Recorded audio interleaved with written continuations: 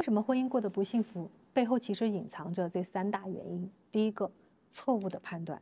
你是不是经常会看到一些综合条件还不错的女生，结果嫁了一个好吃懒做或者是喜欢沾花惹草的男人？是因为这个女生笨吗？当然不是，是因为当年这个女生的错误判断。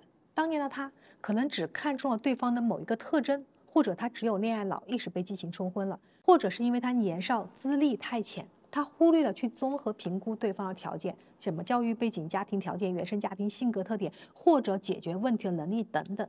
所以，我们常常跟准备结婚的人讲，无论是男性女性啊，婚前一定要理性思考，加强判断，这样才可以避免不幸的发生。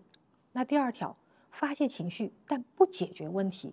有些夫妻之所以会走向离婚，往往就是因为鸡毛蒜皮的小事，他控制不住自己的情绪，他认为都是对方做的不够好，都是对方的问题。所以说，亲密关系很像一个容器，咱们要随时保持空杯心态，看到对方的真实处境，尤其是当对方向你敞开心扉、暴露脆弱的时候，千万不要拒绝他，不要差评，而是去接纳他、安慰他。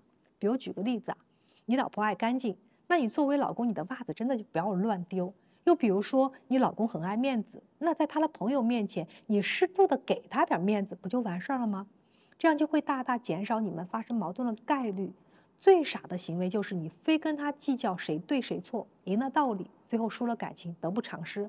而且，即便你们要吵，最终你们一定要吵出一个结果来，也就是至少得知道这件事情到底是怎么样，分清楚事情，才能避免下一次再次发生问题。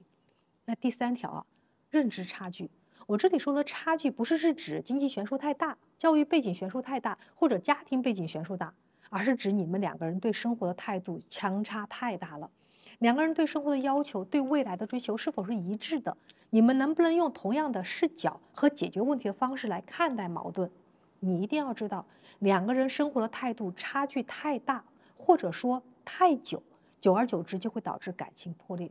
好的夫妻一定是齐头并进，你追我赶。他在你的眼里呢，他是努力的；你在他那里呢，也是有价值的。这样的关系才会比较稳定。所以说，婚前睁大双眼。婚后，那我们就真的是睁一只眼闭一只眼。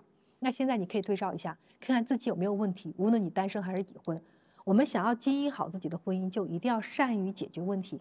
好了，我们今天的内容你要学好了，记着点赞关注，私信如果你有任何问题的话找我就可以，让我帮你握紧属于你自己的幸福。